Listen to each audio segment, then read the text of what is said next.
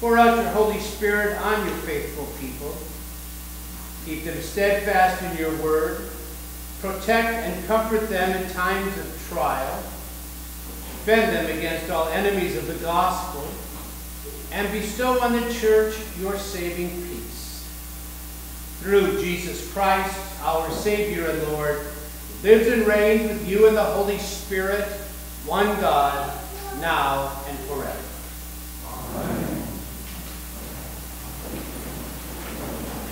Alleluia.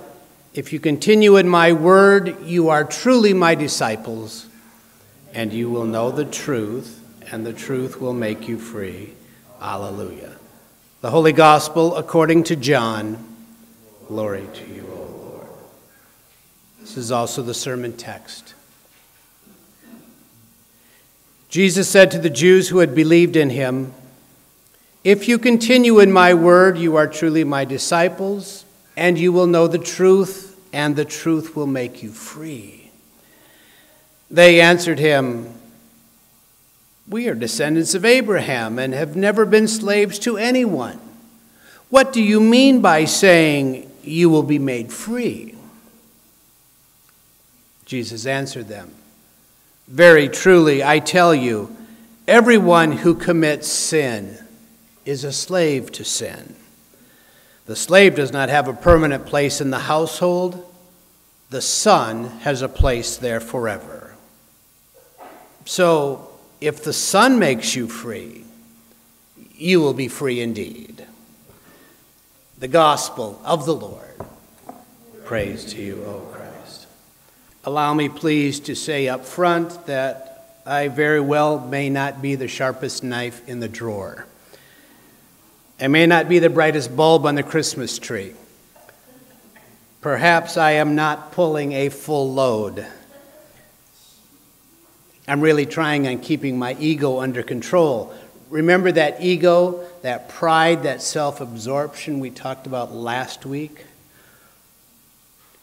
But even so, I am still amazed with the number of people I encounter who, to put it very succinctly, simply are out of touch with reality. Here's a remarkable illustration of this. Uh, Jay Kessler wrote the following in his book, Raising Responsible Kids. Shortly after I got my driver's license, I was driving too close to the middle of the narrow road and I sideswiped another car. The crash tore the front fender, two doors, and the rear fender from my dad's car. After I found out everyone was okay, I stood in the ditch and prayed, Dear God, I pray this didn't happen.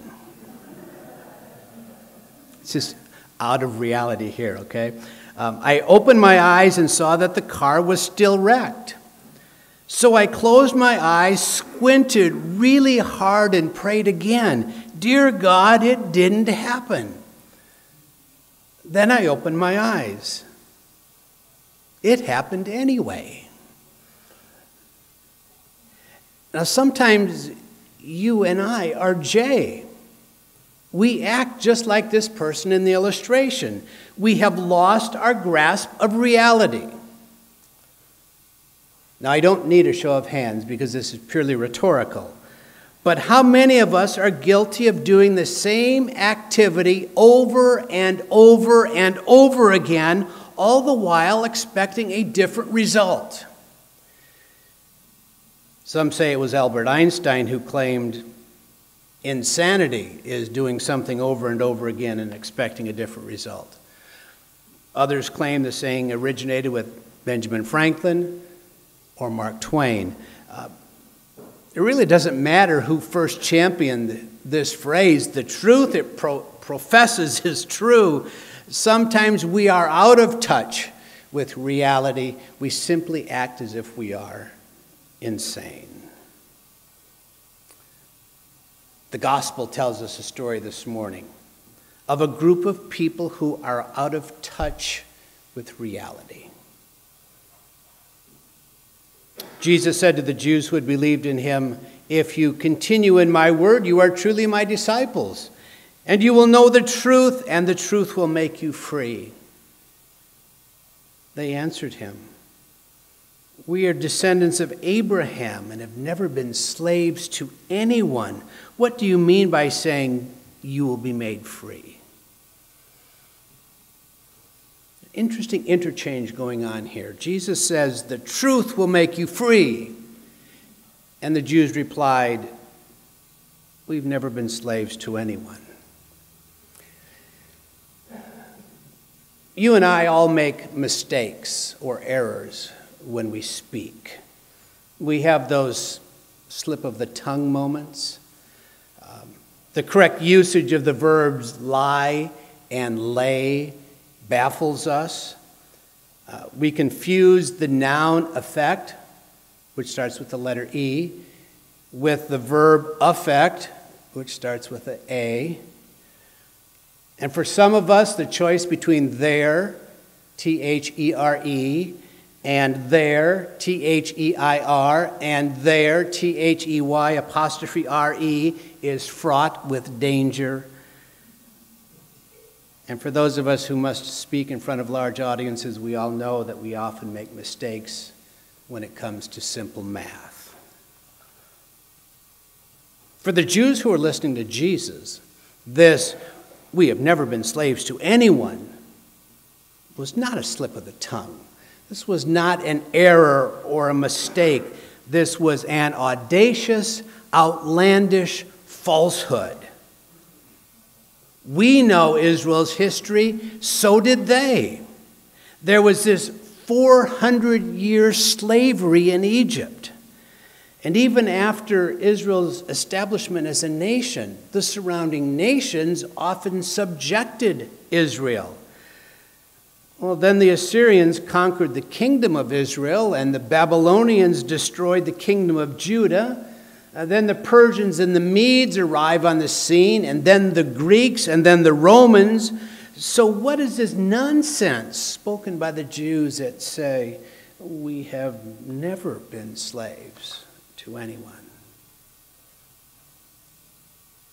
We've never been slaves to anyone, the Jews said to Jesus.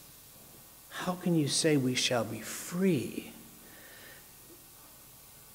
Now, rather than argue with the Israelites over their ignorance of their history.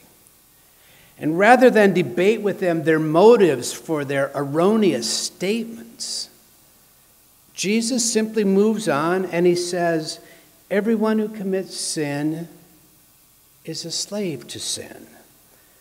So if the Son makes you free, you will be free indeed.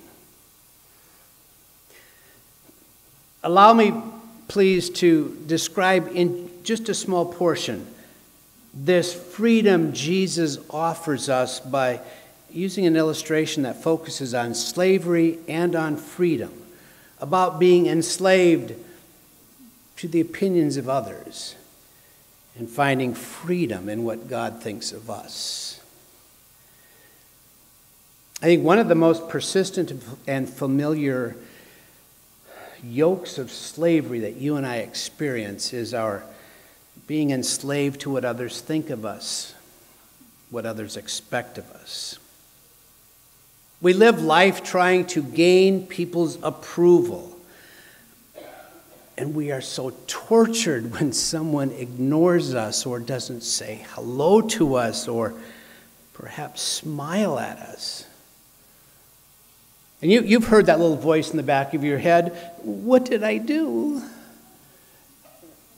And we're disturbed and we're crushed by a word of censure or criticism, and it ruins our day. And we become what one psychologist called approvaholics. We want everyone to approve of us all the time. Is that even possible? There's a story about a wife who had a husband that she felt she could never, ever please. She made up her mind that she was going to do something that would finally draw that word of approval from his lips. So the next morning she got up and she asked him, Dear, uh, what would you like for breakfast? His response was simple two eggs, one fried, one scrambled, toast, and coffee. So she hurried to the kitchen and she worked hard at making this a most memorable breakfast for her husband. Uh, she set the table with special care. She went out into the garden and plucked some fresh flowers for the table. When she finished, uh, she called him into the kitchen for breakfast. He shuffled through, he sat down. She stood behind him with anticipation, waiting for that, for that compliment, that word of approval. Finally, he said, You did it again he went and scrambled the wrong egg.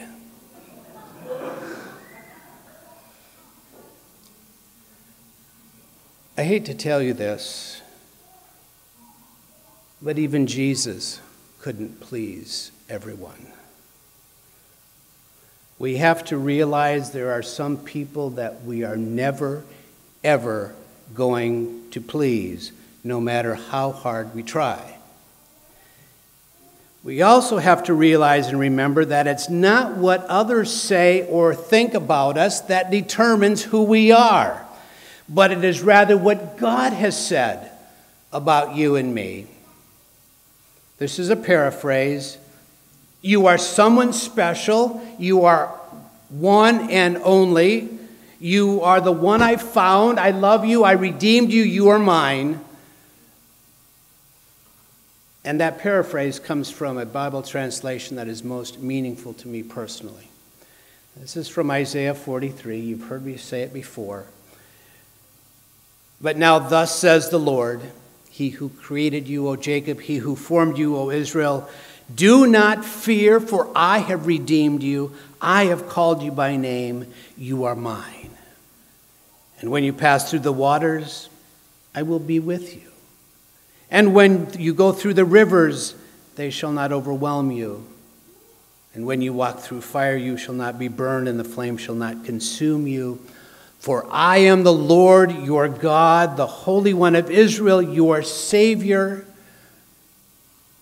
You are precious in my sight and honored, and I love you. It boggles my mind to think what God has done for me. God has created me, God has redeemed me, God has called me by my very name. God says, I am part of the heavenly family. And then in the gospel, Jesus, God's Son, now tells me, in addition to all this, I am free.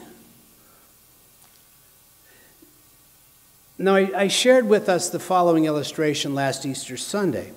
In a most poignant way, this story illustrates what freedom, what true freedom is all about. One day, Abraham Lincoln went to a slave auction and he noticed a young woman glaring at everyone with hate and contempt. She had no doubt been used and abused all her life. Being on the auction block was now one more humiliation. Lincoln was moved. So when the bidding started, he offered a large sum and he kept on bidding until he won. And after he paid the auctioneer and he had received title to this slave, the young woman followed him, of course, looking at him with utter contempt. The young slave asked Lincoln what he was going to do with her. He said, I'm going to set you free. Free? Free for what? she asked. Just free. Completely free. Free to do whatever I want to do? Yes. Free to go are free to say what I want to say and, and go where I want to go? Yes. And Lincoln continued to, to answer this flood of questions that flowed out of her unbelief. Then she finally said, I want to go with you. You see, you and I are set free from sin because of Jesus' holy, precious blood and his innocent suffering and death. God did not give us that freedom, though, to live, to live as we please or to live as we see fit or to live according to our human desires or to go back to the pigsty of sin. Rather, we are set free from sin so that we can be free for service. Free from sin, free for service. Now, as, as Jim mentioned to you at the beginning of the service, the worship or the stewardship committee has placed in your church mailboxes the time and talent survey for the upcoming year. And as you look through those that long list of opportunities that present themselves for your consideration, please hear the words of Jesus as he is speaking to you.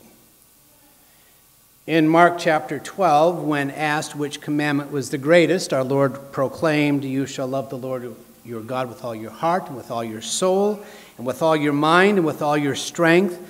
The second is this you shall love your neighbor as yourself. Set free from sin, now you and I are set free to serve.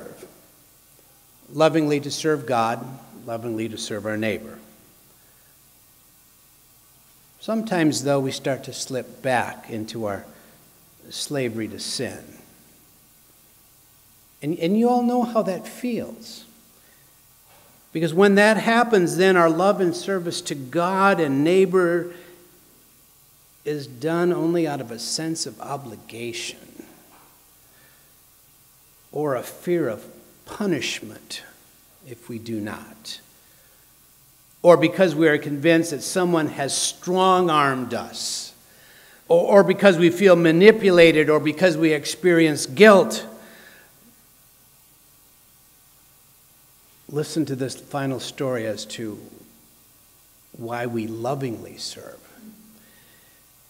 A little girl at the time of the Reformation thought of God as being more of a heavenly vulture, sitting in heaven, watching and waiting to see what we do wrong and then God would pounce on us. Her father worked in the print shop where they were printing Luther's new translation of the Bible. One day, the little girl found a scrap of paper that her father had dropped. After she read it, there was a, a noticeable change in her attitude. Uh, she was kind to everyone, she was courteous, she was helpful to her mother. And one day, her mother asked her why she was so different. So she showed her mother this little piece of paper that she kept in her apron, and that slip read this God so loved the world that he gave. And that's all it said. And the mother said, How could that change your life? The little girl replied, If God loves me so much that he wants to give me something, I don't have to be afraid of him. And I want to be giving as God is giving. Her image of God had changed. God was more like this loving mother hen than that hunting vulture. I want to be giving as God is giving. What a fantastic thought. So we return back to that time and talent survey that the stewardship committee has distributed. We remember Jim's words of encouragement this morning regarding our financial offerings. I specifically remember Jim's talk last year, where Jim and you did a wonderful job of talking about how we are to give generously and we are to give proportionally and we are to do it regularly and we are to do all of this together. My prayer is that as we approach the upcoming year, we see our stewardship not as a sense of obligation, but as a sense of opportunity, not out of fear, but out of faith, uh, not feeling strong armed, but because of our own personal desire, not out of guilt, now out of gratitude. Um, as, a li- as a little girl so profoundly proclaimed, I want to be giving as God is giving. In Jesus' name, amen. And the peace of God, which surpasses all human understanding, keep our hearts and our minds in Christ Jesus. Amen.